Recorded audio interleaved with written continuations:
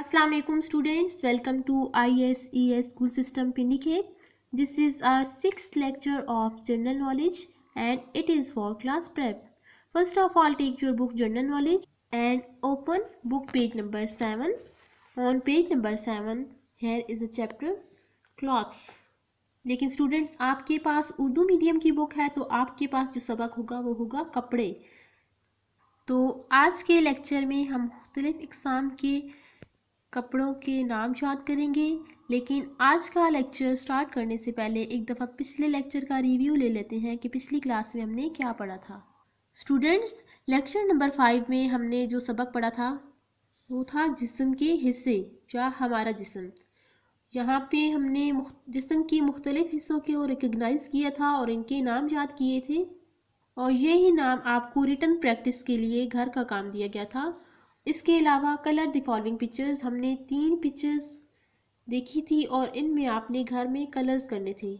तो उम्मीद है आप अब बॉडी पार्ट्स को रिकगनाइज भी कर सकते हैं और इनके नाम भी लिख सकते हैं। इसी तरह आपने इनमें कलर्स भी कर लिए होंगे। तो आज का लेक्चर है क्लॉथ्स क्लॉथ्स इंग्लिश का वर्ड है और उर्दू में से कपड़े कहते हैं। ये कपड़े हम जिसम को ढांपने के लिए इस्तेमाल करते हैं। तो चले रीडिंग स्टार्ट करते हैं। टी शर्ट ये क्या है? T shirt second sweater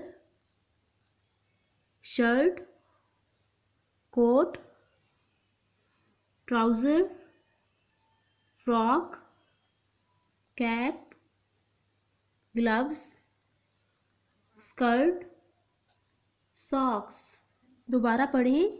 T shirt sweater shirt, coat, trouser, frock, cap, gloves, skirt and socks. Urdu में इनके नाम टी शर्ट को हम टी शर्ट ही पढ़ेंगे, स्वेटर को स्वेटर या जर्सी, शर्ट को शर्ट ही पढ़ेंगे, कोट को कोट ही पढ़ेंगे, trouser, pant. Frock, cap mean टोपी ग्लव्स मीन दस्ताने, स्कर्ट सॉक्स मीन जुराबें। तो स्टूडेंट्स हमने सफ़र नंबर सात की रीडिंग कर ली है। अब ये पढ़ें कलर दी फॉलोइंग पिक्चर्स तस्वीरों में, नीचे दी गई तस्वीरों में रंग भरें। तो सबसे पहले पहचान करें ये किस चीज़ की तस्वीर है? Yes coat this is frock ये फ्रॉक की तस्वीर है।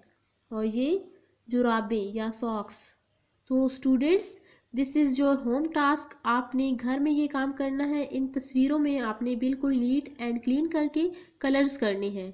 But before colouring remember the technique you should start colouring from its edges आपने इसकी बिल्कुल आउटलाइन से कलर स्टार्ट करने हैं ताकि आपकी कलरिंग नीट एंड क्लीन हो। तो ये आपका घर का काम है। आपने इस सफ़े की, इस सबक की रीडिंग करनी है और इन दी गई तस्वीरों में कलर्स करने हैं। और ये फ़र्स्ट टर्म का हमारा लास्ट लास्ट चैप्टर था, जो कि हमने आज ख़त्म कर लिया है।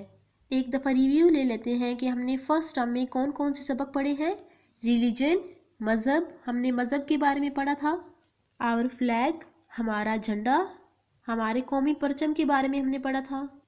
आवर ग्रेट लीडर्स हमारे अजीम रहनुमा। बॉडी पार्ट्स हमारा जिसम या जिसम के हिस्से। और फ़र्स्ट टर्म का जो लास्ट लेक्चर लास्ट सबक था वो था क्लॉथ्स यानी कपड़े।